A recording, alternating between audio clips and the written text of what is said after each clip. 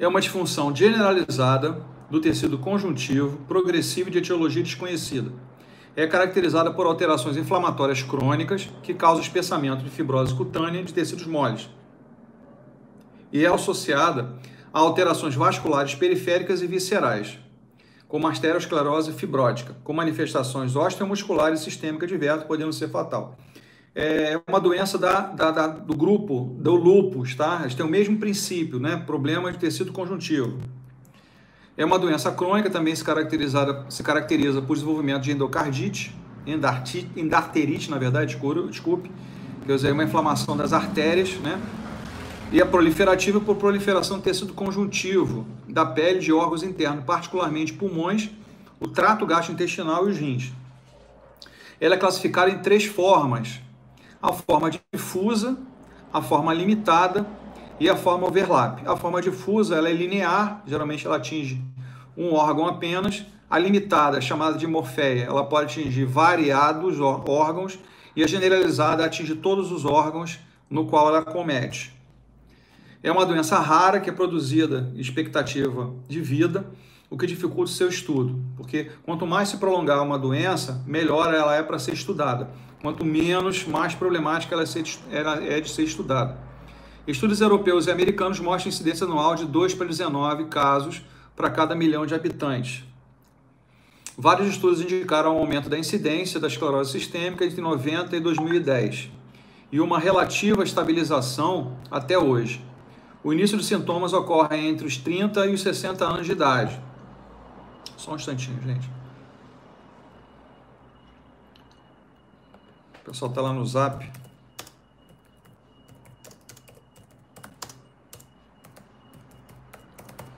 Vamos lá.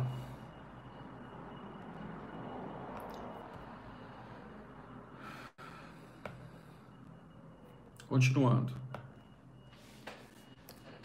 Há um predomínio do sexo feminino de 12 para 1, ou seja, 12 mulheres para um homem, boa noite, Marlon, que pode aumentar 18 para 1, quando é considerada a faixa etária correspondente ao período fértil, entre os 15 e os 50 anos. A prevalência é de 156 casos por milhão de habitantes.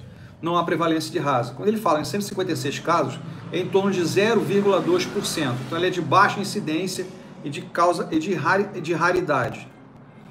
Fatores genéticos. A relação entre o antígeno leucocitário humano e a esclerose sistêmica permanece controversa. Então, o mesmo caso né, que eu tinha comentado antes desse pico que deu de, dentro do YouTube, não sei que porcaria foi essa hoje, mas é, tem uma relação por ser, para não ter sabido o que acontece, nós se sabe que algum gene está alterado. Eu estava contando até uma história de uma família de mais de 100 pessoas e só tinha um caso Ninguém na família, inclusive. Boa noite, Ana. Inclusive na família, é, antepassados, ninguém nunca teve essa doença, nem parecido com o que se sabe hoje. Então, tem um fator emocional por trás que pode disparar essa doença, que está contido na gente pode gerar um problema, ok? O predomínio dessa doença é, é sugere hormônios sexuais femininos, geralmente baixos, tá?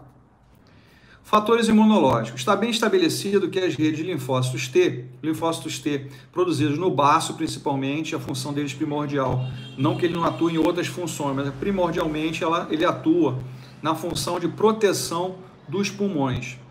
Esses linfócitos são ativados em indivíduos geneticamente predispostos, atuando no processo de fibrose.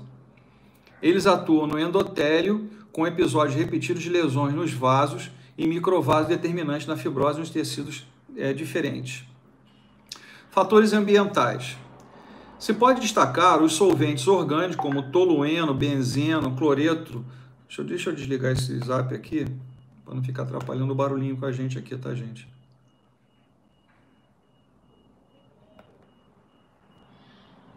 Vezes o pessoal que não está conseguindo conectar, que eu sempre mantenho esse vídeo amanhã, quando ele masterizar totalmente, eu faço os cortes e coloco lá no grupo tem estado sempre. Se não quiser também, pode entrar lá no YouTube que o material está lá, tá? Todas as aulas que nós tivemos, exceto uma que eu passei inclusive para o Moisés, que foi de, se eu não me engano, foi sobre, sobre, deixa eu ver aqui só um instantinho, foi sobre, cadê, eu tenho guardado, foi sobre fibromialgia, tá? Mas tem vídeo de fibromialgia lá, ok? Então, vamos continuar. Quem não tiver, é só tá gravado, não há problema algum, isso vai estar dentro do, do portal ou lá no YouTube mesmo, à vontade. Então, alguns solventes como tolueno, benzeno, cloreto de polivinil e tri, tricloroetileno, isso aí é tudo em relação à tinta, tá? É todo material de tinta, é todo material solvente, às vezes que as pessoas usam, às vezes é, não ter o cuidado de ter os EPIs adequados, isso pode ativar um problema. A sílica em minério de carvão em pedreira, o silicone em próteses mamárias, o uso de drogas como inibidores de apetite, o L-liptrofano, a bleomicina e alguns vírus podem ativar. A patogênese. Os eventos precipitantes da doença ainda são pouco conhecidos. A melhor explicação é a ocorrência de episódios repetidos de lesão endotelial de vasos e microvasos. O dano endotelial leva a alterações de permeabilidade. Por isso que foi falado anteriormente, no outro slide, sobre problemas hormonais. A gente sabe que a mulher ela depende da parte hormonal para inclusive dar consistência a seus vasos, principalmente através da vitamina B. A vitamina B é o que dá consistência aos vasos. E a mulher gasta muita vitamina B, principalmente a B12, para maturar os óvulos. E esse gasto energético faz com que haja uma fragilidade nos vasos. E dependendo já geneticamente, se essa pessoa tiver uma condição para o problema de esclerose, ela pode ter essa repetição dessas lesões endoteliais de vasos e microvasos e, e disparar a doença. O dano endotelial leva às alterações de permeabilidade, que ativa os fibroblastos intersticiais, levando-os a uma maior secreção de colágeno, formando o manguito em volta da adventícia, ou seja, é uma das camadas de um vaso, a camada adventícia. É, o colágeno, nós já sabemos que o colágeno, em relação à elastina, ele é mais rígido, ele tem, ele tem menos, ele tem menos, mais resistência, mas ele é muito rígido. E o vaso, ele tem que ter uma certa maleabilidade. Se ele se tornar rígido, o impulsionamento do sangue ele prejudica principalmente a parte respiratória, por isso os problemas pulmonares também. Apesar de o antígeno que deflagra a resposta autoimune não ter sido identificado, acredita-se que o componente imunológico possa sofrer influência de elementos ambientais, pois há comprovação de casos em que a doença é desencadeada por exposição química. Com essa alteração imunológica e o aumento da síntese de colágeno, ocorre fibrose, ou seja, o enrijecimento do tecido. Lesão proliferativa vascular, endarterite, ou seja, as, as artérias ficam mais rígidas. E isquemia principalmente distal, mãos e pés. Os vasos existentes é o mesmo caso já falado anteriormente sobre o uso do gelo, ok? Os vasos existentes se condensam e se dilatam, formando as telangiectasias. Portanto, a esclerose sistêmica é associada à fibrose excessiva, ou seja, o enrijecimento do tecido, alterações da microvasculatura e uma variedade de alterações imunológicas. O quadro clínico. As manifestações clínicas iniciais são extremamente variáveis. Pacientes com formas difusas têm curso clínico diferente daqueles com formas limitadas. Os pacientes com forma difusa costumam apresentar progresso rápido no comprometimento cutâneo e maior risco de problemas renais, problemas cardíacos e pulmonares nos primeiros cinco anos da doença. Então, se você tem uma fibrose, você tem também uma pouca maleabilidade da expansão, ou seja, a inspiração e a expiração pulmonar. Automaticamente, isso causa um aumento da produção e a pressão sanguínea promovida pelo coração causando problemas cardíacos também. Então você vê que uma coisa depende da outra. Automaticamente, se o sangue não chega adequadamente, ele não vai ser filtrado adequadamente nos rins. Mais um comprometimento, havia um comprometimento renal. Então, um somatório de coisas, essa, essa síntese inadequada do colágeno é que vai gerando esse processo de, de problemas orgânicos da esclerose sistêmica. Após esse período, a doença tende a se estabilizar com poucas manifestações viscerais novas são observados edemas nas mãos e o fenômeno de Raynaud, que é distúrbio vasomotor que se manifesta com a mudança da cor bilateralmente nas mãos, geralmente após exposição ao frio. Foi o que eu falei do gelo. Caracterizado por isquemia bem localizada, palidez, vasoespasmo, cianose, que é a coloração dada pela falta de oxigenação, principalmente nas extremidades, e rubor pela hiperemia reativa ao refluxo do, do, do, fluxo sanguíneo Podem ocorrer parestesia nas mãos e rigidez matinal. Olha, outro, outra doença que fala sobre rigidez matinal. A artrite reumatoide tem rigidez matinal, a artrose em si tem, tem rigidez matinal, o lúpus tem rigidez matinal. Então, são doenças né, do, mesmo, do mesmo estilo né, que tem variabilidades em relação ao quadro clínico.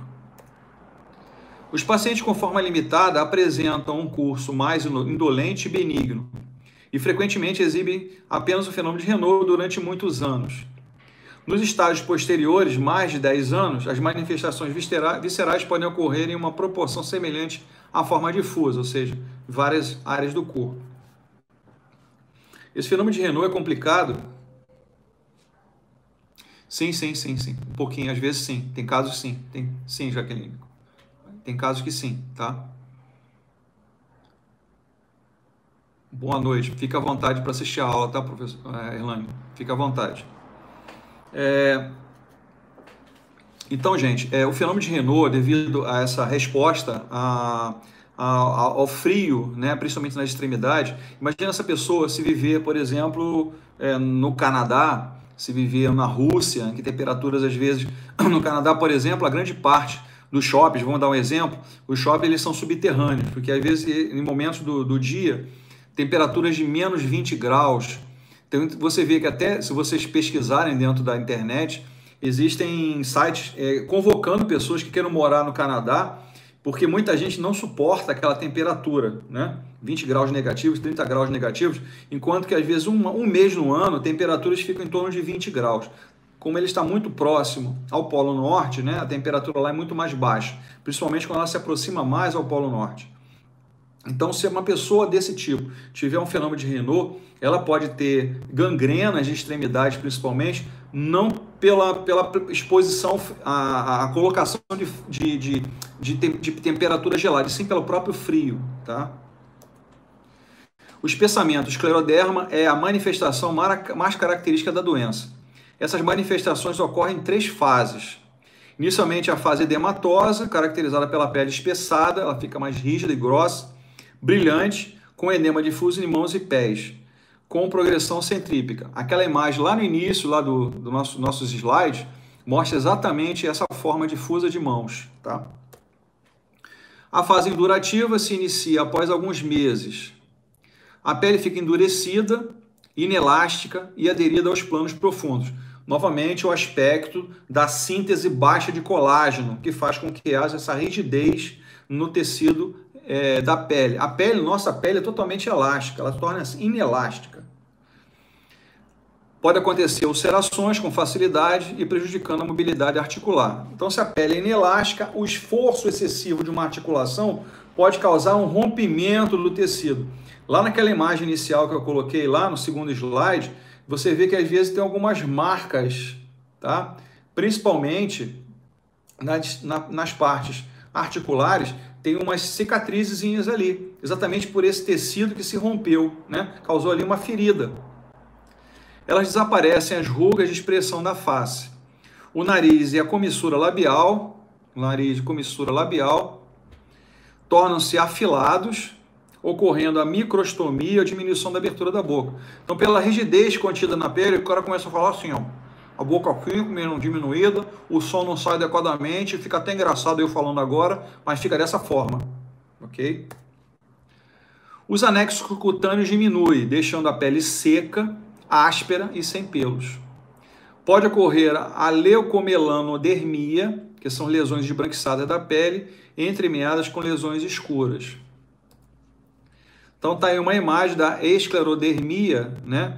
Que você vê a vermelhidão, principalmente da falange média até a falange distal, e você vê um edema pela coloração da pele, né? Brilhosa, distendida, esticada, tá? E a tendência aí é o rompimento dessa pele, né? Formando ali uma, uma cicatriz, fica feio. Aparece calcinose, acúmulo de cristais de cálcio e hidroxiapatita em locais de uso excessivo ou traumatismo, como cotovelos, dorso das mãos e joelhos, e nos locais afetados pelo fenômeno de Renault. As telangiectasias são dilatações de capilares e arteríolas que acometem a face, lábios, língua, dedos das mãos, áreas periungueais e membranas mucosas. Então tá aí algumas imagens de calcinose. A calcinose são essas formas que de aderência de cálcio e hidroxiapatita que formam esses caroços, principalmente nas mãos, nos dedos, nos cotovelos e até nos joelhos. É uma aparência feia, mas isso pode acontecer por esse acúmulo de cálcio e hidroxiapatita. Manifestações cutâneas. Após alguns anos de maneira gradativa, ocorre a fase atrófica, com diminuição do caráter fibrótico e inflamatório, e a pele se torna mais pregueada, frágil, fina e macia. Podem ocorrer ulcerações da pele, ou seja, algumas cicatrizes, né? Vão, a pele vai romper, vai formar algumas cicatrizes. Por mínimos traumas, quer dizer, qualquer pancadinha que você dá, pela fragilidade do colágeno, ela rompe principalmente em locais como cotovelos e áreas de contraturas em flexão. Manifestações vasculares periféricas. Devido às alterações da microvasculatura, é comum o aparecimento de microulcerações isquêmicas nas polpas digitais, como fenômeno de Raynaud. Nós vimos uma imagem na, na aula passada, né, como é o fenômeno de Raynaud. Você vê um esbranquiçamento, no caso, o fenômeno de Renault ele pode pegar a mão inteira. Boa noite, Moisés. Já na esclerose, ele pode pegar só a extremidade, podendo evoluir para úlceras, gangrenas e amputações dos dedos nos meses mais frios.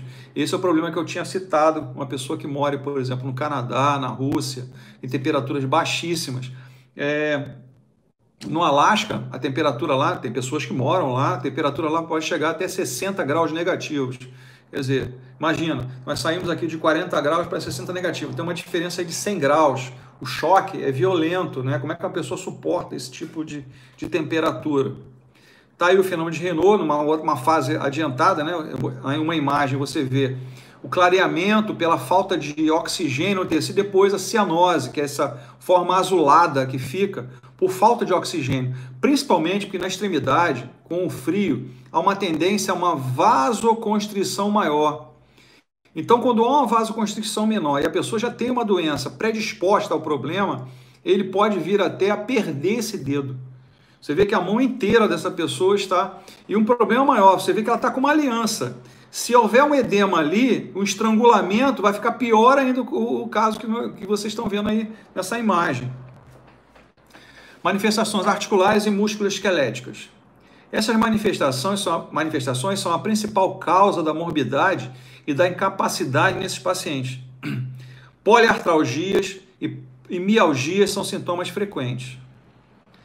A dor e a rigidez são maiores que os sintomas inflamatórios.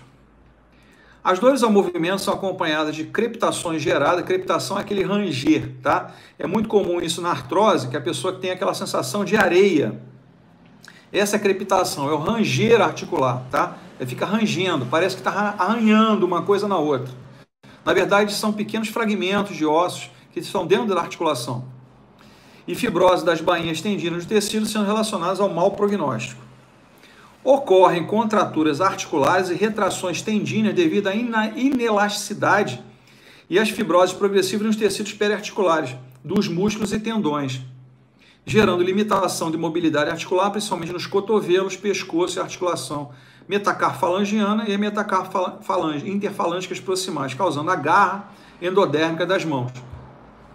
Esse é o formato que fica a mão. Tá? Ele tem dificuldade em apreensão, em segurar.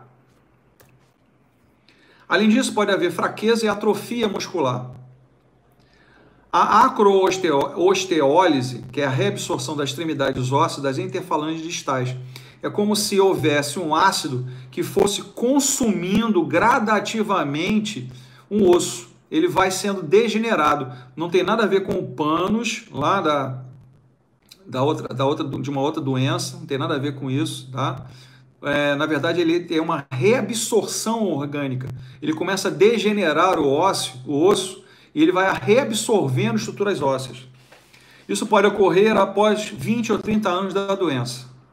Em pacientes com fenômeno de Renault de longa duração gerada pelo elemento sanguíneo inadequado, pela falta de oxigênio no tecido nas extremidades. A disfunção esofagiana, causada por atrofia e fibrose da camada muscular e submucosa, e a manifestação visceral mais frequente da doença. Os sintomas mais comuns são disfagia, ou seja, dificuldade de engolir, né? pirose retroesternal, ou seja, uma queda do tecido, regurgitação, né, a volta, e sensação que o alimento para no esôfago. Quer dizer, a pessoa, com, como ela não tem essa toda elasticidade que o esôfago faz durante o peristaltismo, ele começa a ter a sensação que o alimento vai voltar, ou seja, a ânsia de vômito. Essa regurgitação é a ânsia de vômito.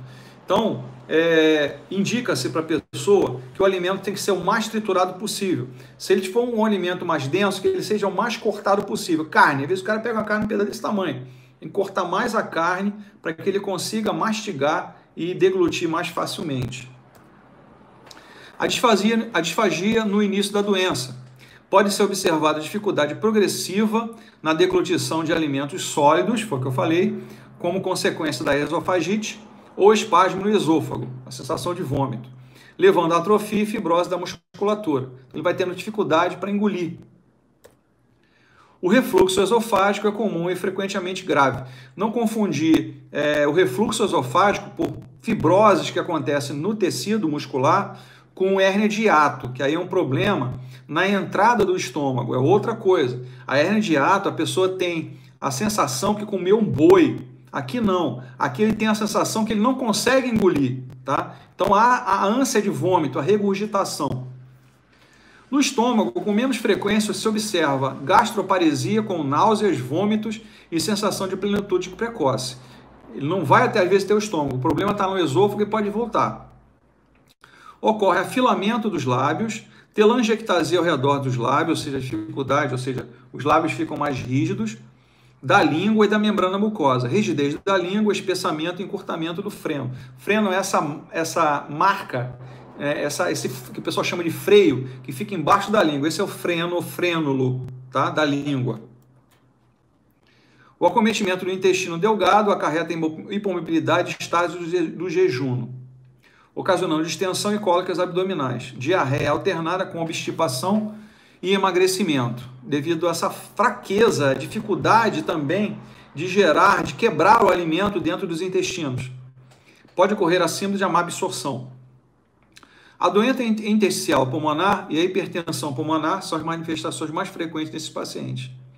O paciente com doença intersticial pulmonar apresenta dispneia, dificuldade respiratória, né? Tosse não produtiva, ou seja, não tem nenhum tipo de secreção, isso é tosse não produtiva e dor pleural, dor na caixa torácica, né? na verdade é uma inflamação na pleura, resultando em estertores subcrepitantes. Estertores subcrepitantes são, ao auscultar o pulmão, uma sensação de um ranger. O ar que entra e sai, quando vocês estiverem na disciplina de fisioterapia é, pneuma, pneumológica, vocês vão ter o estudo dos estertores, ou seja, o escutar nossos pulmões. Então, o ar que entra é um sopro, entra e sai. Cada tipo de doença pulmonar tem uma característica de um estertor. O estertor é o, é o som promovido pela ausculta. Tá? Então, esse estertor subcrepitante nós temos nas bases pulmonar. Ápice, base, onde está o diafragma. Hipertensão ocorre, sobretudo em pacientes com forma limitada da doença e longo período de evolução aparece isolado ou associado à doença pulmonar restritiva, ou seja, o DPOC. Tá? Essa doença pulmonar restritiva pode evoluir para uma doença pulmonar obstrutiva crônica.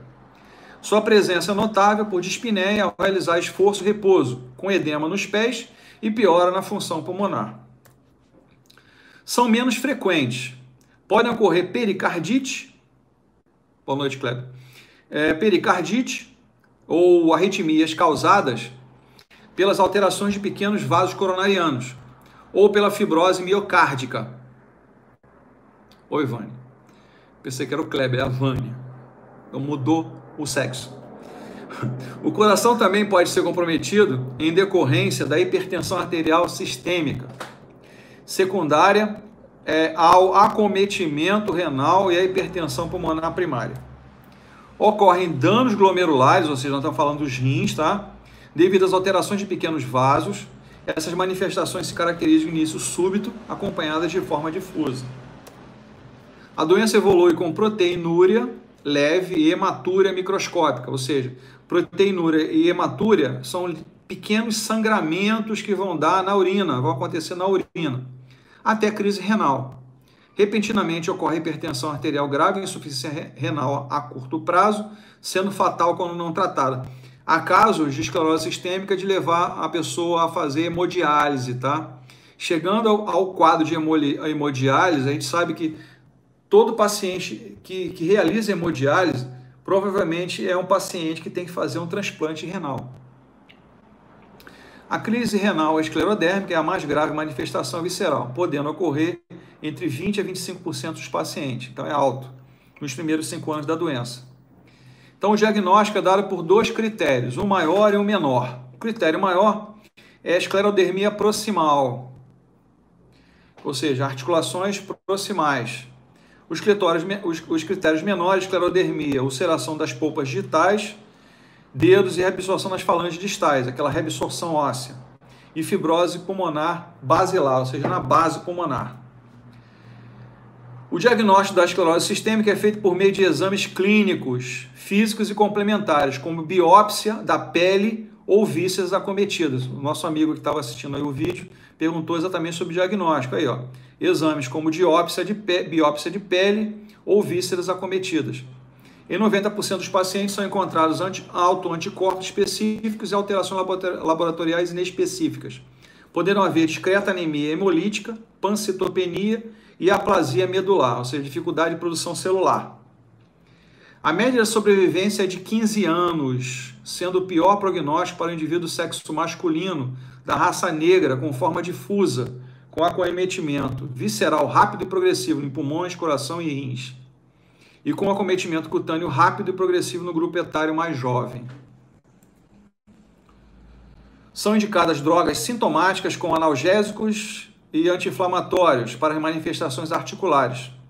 Inibidores da bomba de próton, inib... desculpe, inibidores da bomba de próton H2 e inibidores H2 para esofagite de refluxo, corticóides, dermatose do comprometimento cutâneo e manifestações pulmonares de colchitina, que é um remédio para evitar o acúmulo de colágeno devido ao bloqueio da conversão de procolágeno para tratar calcinose de penicilamina. Existem vários tipos de penicilina hoje, tá? Vários tipos de penicilina para combater as manifestações cutâneas, bloqueadores dos canais de cálcio, drogas vasoativas para controlar o fenômeno de Raynaud. Olha quanta coisa. É, eu digo sempre, é, remédio em si são remédios agressivos, remédios para lúpus, remédio para esclerose sistêmica. A, a, a hidroxicloroquina é utilizada aqui também, tá? Em alguns casos, sim além do captopril, problema pulmonar, é, desculpe, cardíaco, para ser utilizado em manifestações renais também. As drogas para tratar a evolução da doença são as imunossupressoras, como o asiaticosídeo, que inibe a biossíntese do colágeno, e a ciclofosfamida. A fisioterapia, na avaliação, avaliação do histórico do aparecimento dos sintomas, quanto tempo, é, quando começou, que região começou, é, como foi essa dor, é uma dor lancitante, é uma dor pulsante, é uma dor apertando, é uma dor fibrilando, que tipo de dor é essa? Na avaliação física, o acometimento articular, podemos fazer o uso do goniômetro para saber se existe algum comprometimento na amplitude de movimento, é, se existe algum tipo de alteração da marcha, né? caso tenha a necessidade, fazer uso de meios auxiliares para marcha, é, andadores, muletas ou mesmo bengalas, e quem sabe até cadeira de rodas, dependendo do caso.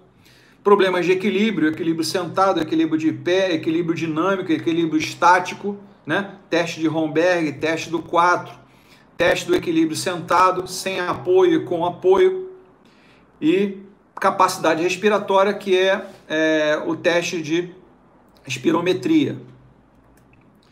Objetivo do tratamento: a fisioterapia não pode interromper o curso da doença, mas pode amenizar os sintomas e melhorar a qualidade de vida do paciente. Então, nós temos os seguintes objetivos: manter ou aumentar a mobilidade das articulações e da pele, melhorar a mobilidade articular e melhorar a elasticidade da pele. Como? Calor, o calor, nesse caso, ele é o mais indicado. Manter ou melhorar o equilíbrio na marcha. Manter a força muscular, porque com a rigidez da pele, com a diminuição da amplitude de movimento, você tem um encurtamento do músculo, automaticamente diminuição da força. Melhorar a consciência corporal e a postura. Orientar de uma forma geral sobre a evolução da doença e os cuidados a serem tomados. São as, as orientações que você tem que dar para o paciente em casa, o que fazer, o que não fazer, o que deve e o que não deve. Os nossos recursos Exercícios ativos para manter ou melhorar a amplitude de movimento, manter o trofismo e evitar a diminuição da força muscular. Aqui na força muscular, é força muscular. Hum, não, não é bem, não é bem queimadura, tá, Jaqueline? Ah, o problema não é bem a queimadura, o problema é, é o rompimento do tecido. Porque quando o tecido é elástico, ou seja, o colágeno e a elastina trabalham em comum acordo, você tem uma elasticidade. Você vê que em várias regiões do nosso corpo nós temos essa reserva de pele. Tá vendo aqui, ó? Isso aqui é uma reserva de pele. O organismo, se não tivesse essa reserva de pele, quando eu fizesse a flexão, isso aqui rasgaria. Até numa cirurgia, quando o médico é, traciona um tecido, ele faz uma reserva de pele. Porque se houver uma tração excessiva, ele pode rasgar. A queimadura, ele faz retração da pele. Por isso que às vezes há um debridamento, há um pequenos cortes que, que, o, que o cirurgião faz para ir liberando a tensão da pele, liberando essa ação do colágeno elastina, para que nova formação de pele seja contida entre cada corte que foi dado, para novamente melhorar a elasticidade. Então, não bem a queimadura, e sim mais a fratura da pele, a, a, a, o rachar da pele né? causando ali uma, uma ranhura, uma cicatriz que vai se formar. E um novo tecido inelástico formando no local. Ok? Exercícios passivos suaves, alongamento ativo, para evitar deformidades e manter amplitude de movimento. Estímulos proprioceptivos, principalmente nas extremidades, mãos e pés, tá? Treino de equilíbrio em marcha. Exercícios respiratórios, Nada, sempre fica à vontade para pergunta. Exercícios respiratórios para a contração dos músculos respiratórios do diafragma, melhorando as trocas gasosas, expansão pulmonar e higiene brônquica, mantendo o funcionamento dos pulmões, evitando a fibrose e complicações futuras. Gente, movimentos hoje necessários para serem feitos durante esse, essa fase da Covid.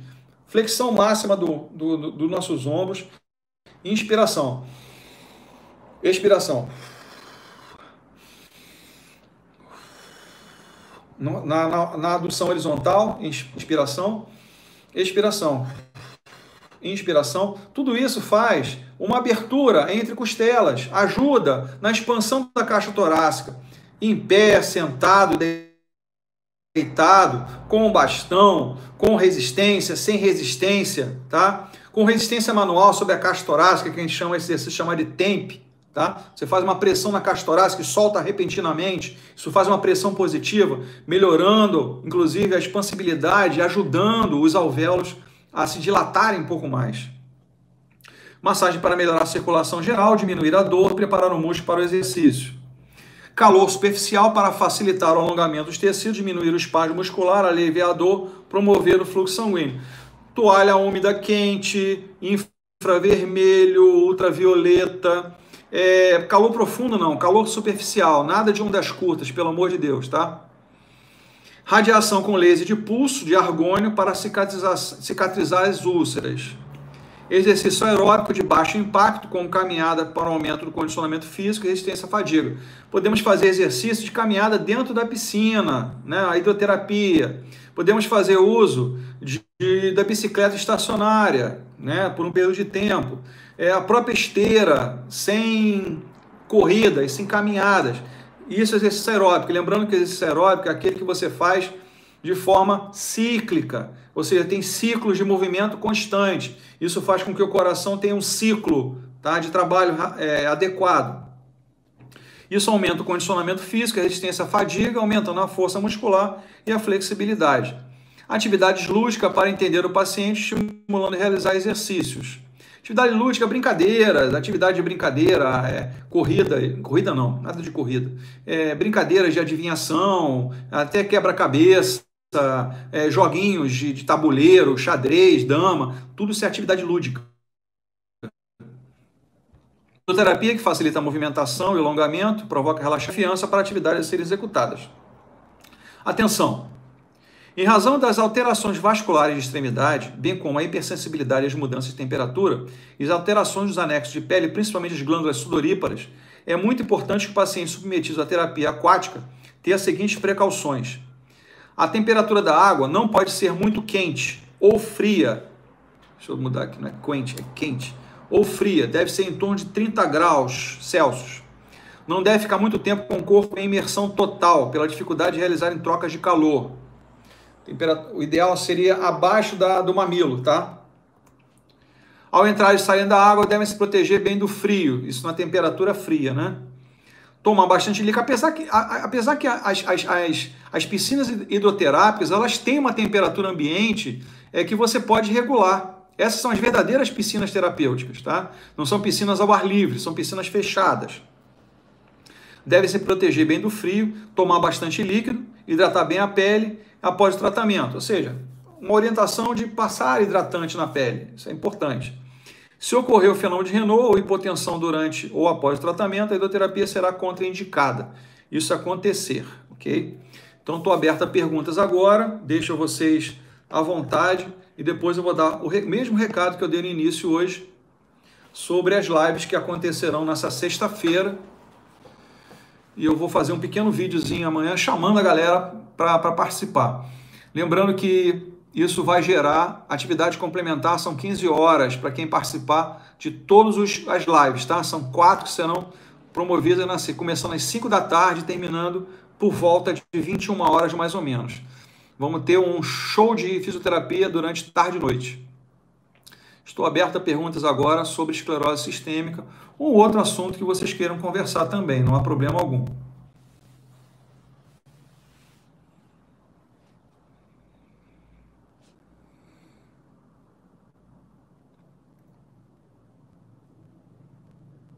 Com certeza. A hidratação da pele o idoso ele tem que fazer, porque o idoso acha que tomar água, ele vai fazer xixi muito mais vezes. A hidratação da pele, você vê, a massagem com o idoso ela é complexa, né? Porque você pode, pela é, desidratação que essa pele apresenta para gente, você pode rasgar a pele do idoso. Então a hidratação é importante, a indicação de hidratante para o idoso, eles são importantes, é indicado sim, bastante indicado, tá? A orientação para que eles bebam líquidos é, é constante. Minha mãe, é, é, minha mãe tem 80, foi 86 anos. Minha mãe toma líquido um atrás do outro. Ela toma 2 a 3 litros de água todo dia. Pode estar tá frio, pode estar tá calor. Tá? É, isso é uma, uma norma dela. Né? Ela está sempre com a garrafinha do lado. A garrafinha chega na metade, ela vai lá, enche de novo e continua tomando água. Pergunta, gente. Vamos lá. Não tem dúvida nenhuma colega que perguntou de uma, acho que de outro local, estava numa dúvida aí, infelizmente nós, não sei o que houve, deu uma queda no, YouTube, todo mundo caiu, tive que dar um tempinho, começar novamente a aula, sem problema algum também, mas o que, que ele queria perguntar, não sei, deve ter dado algum problema, ele desistiu. Mas então lá, vamos lá, já que ninguém está perguntando, sexta-feira, pessoal, é, estaremos começando às 17 horas, eu vou entrar um pouco mais cedo, nós vamos fazendo alguns testes, hoje tivemos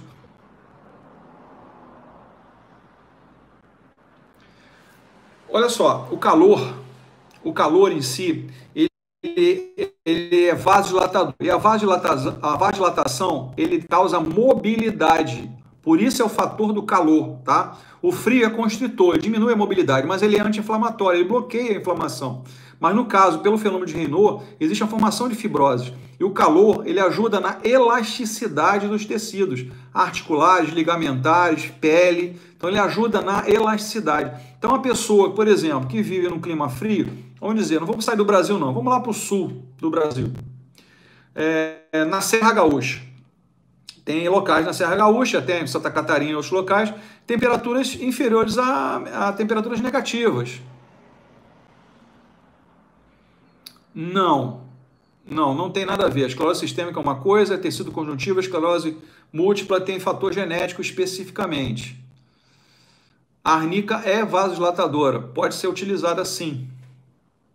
tá? Pode ser utilizado assim. Mas o calor ele melhora a mobilidade dos tecidos.